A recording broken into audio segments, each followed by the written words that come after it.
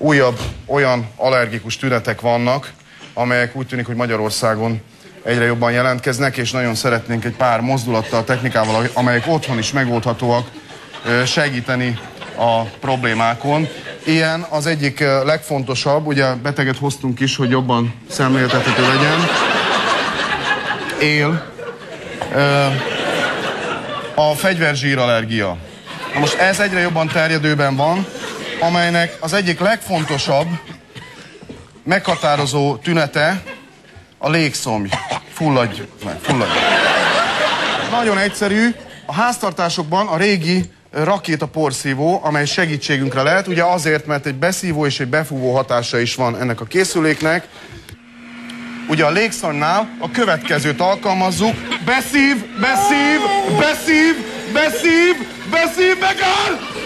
A mellékhatás, ugye lehetséges egy puffadás, akkor egy fordított állással, újrakapcsolással, általános belső tisztító hatást érünk el. Ez az, ez az. Jó, nagyon jó, igen. A következő nagyon fontos, a kolbászallergia. Ennek a tünetei nehéz légzés, globális testfelmelegedés, üvegházhatás. Ennek a gyógymódja, ugye melkasi résznél, masszázs erős kalapácsütéssel. Van még egy nagyon fontos, általánosan elterjedt és egyre jobban működő allergiazavarunk, maradjál, mert megöllek.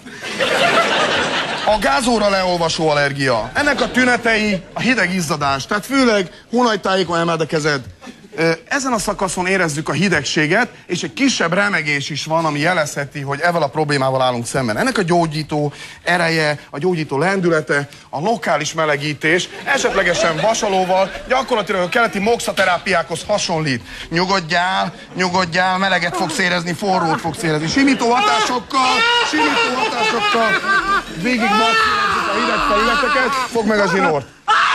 Ennek lehet mellékhatása esetleg az áramütés.